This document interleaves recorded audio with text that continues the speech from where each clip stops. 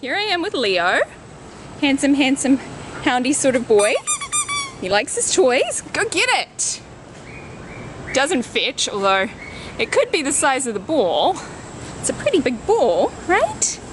Very friendly guy. Very, very friendly. A little shy at first, but he perks up pretty quickly. Leo, come, let's get the ball. Where's your ball? Where's your ball? Sit. Good boy. Go get it. Oh, he thinks he's getting treats. Well, maybe you are getting treats because you're such a good boy. All right. Good boy. he was taking them gently at first, but he's gotten...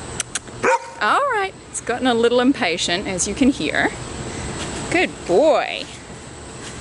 All right, let's show your other trick. What's your other trick? Shake, shake. Good boy. Uh, and he can do that with both hands. He is an ambidextrous guy, right? Yes, you are. I know. No more treats. Come on, let's get the ball. Let's go get the ball.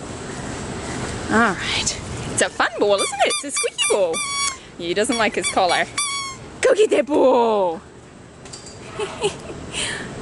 yeah, he's playful like a puppy, as you can see. That ball is fun, am I right? You want me to throw it again? Yes, you do. All right. And we're lucky we're the, we're the only ones out here. Sit. Sit. Sit down. Leo.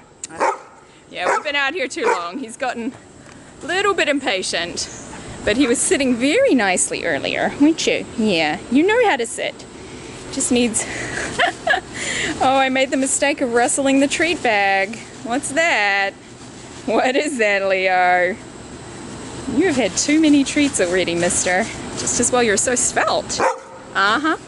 Good boy. Good boy for being quiet. There you go. Good boy. All right, let's go get the ball. Treat's over. So he's basically just very enthusiastic young guy. Loves to play. Uh-huh. Loves to be with his people.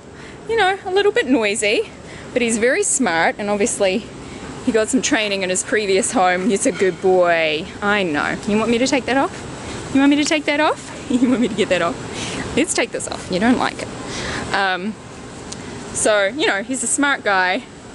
Definitely able to learn a command for being quiet. Yes, with the right motivation.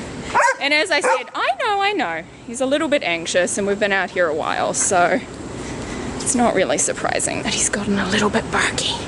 Plus, he's been stuck in a cage. Nobody likes that. Alright, I think I've rambled on long enough. This is Leo. As you can see, he is not a problem dog. He is an energetic, playful young guy. Friendly, a little bit shy, and a lot of fun.